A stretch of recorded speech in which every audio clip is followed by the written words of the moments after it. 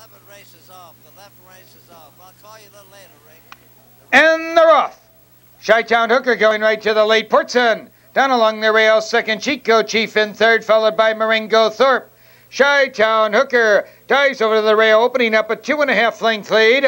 Portson on the chase, second uh, length Chico Chief. Right there, third by two, Marengo Thorpe. Fourth now by two, Euchre Jester fifth.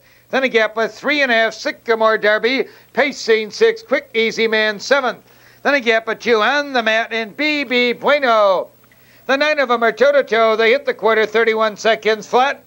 Chi-Town Hooker bouncing along with that two length lead. Portson still on the chase, second a length and a half. Chico Chief inching a closer third. Then it's Marengo Thorpe fourth. Euchre Jester the first to pull. Charging out there now fourth.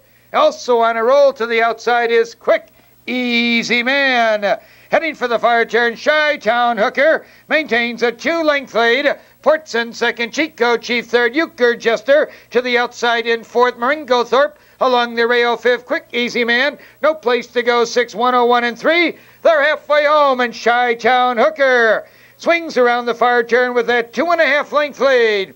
Portson driving second, Euchre Jester ranging up again on the outside in third, Chico Chief tucked in fourth, Quick Easy Man to the outside racing fifth.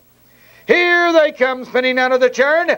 Chi-Town Hooker has it by two and a half lengths. Portson driving second by two. Euchre Jester dropping back slightly now in third. Coming on. Quick Easy Man to the outside, followed by Chico Chief and Marengo Thorpe at the eighth pole.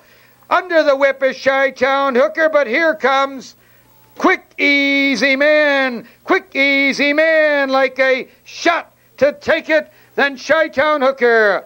Quick Easy Man by two. Chi-Town Hooker second. Chico Chief is up for third.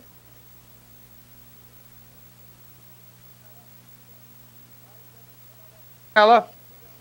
5-7 Quinella. $22.80. The 752 trifecta. 230